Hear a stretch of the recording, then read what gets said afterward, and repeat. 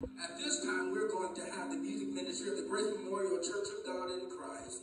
They are going to come and take us a little, little further in the worship. Come on, clap your hands for them as they come.